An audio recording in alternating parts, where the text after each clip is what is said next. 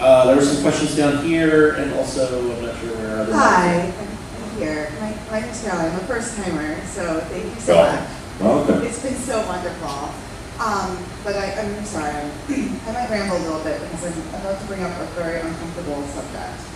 Um, and, and my question, I guess, is, and I don't want to put you on the spot right now, but my question is, would, would the management sort of commit to sitting down with some voices of color about the fact that the mascot is a monkey? And The it's- fact that what, I'm sorry. Oh, the mascot is a monkey. Oh. it's, um, I mean, I think we all know from President Obama's tenure and just generally, I did prison reform work for 10 years. And one of the most common ways of harassing a person of color and a black person in particular, like a black officer, would be to hang a picture of a monkey or a monkey doll or a noose in their locker.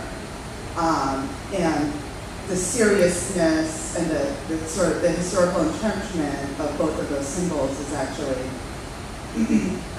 you know, if I walked into the room and walking here through the through the monkey uh, forest was like, I mean, I started to feel scared, and I'm, you know, I'm obviously not black, I'm, I'm you know, Chinese, but um, but it is, uh, it is really, you know, a sea monkey is a brine shrimp.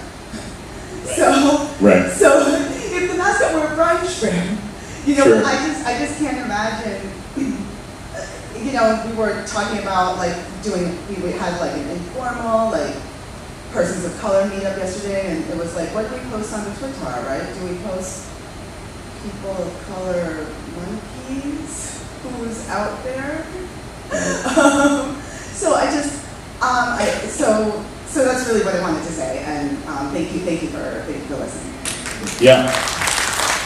And, and, and I'm sorry, if I can just add to what she was just saying, that, uh, maybe to forestall a little bit, we are not ascribing any bad intention. Of course, of course, yeah. You know, we, we get it, it's just the fact. No, first of all, thank you, thank you for saying that. I know it's, it's a, a, you know, tough thing to bring up and talk about, but I appreciate you saying that. Uh, and yeah, you know, we, we are uh, always painfully aware that we are, you know, middle-aged white dudes. And uh, we, you know, every year we are uh, learning more and more about our own blind spots about things. Uh, and I, you know, I, I totally hear you and I totally understand, and I think that's completely valid.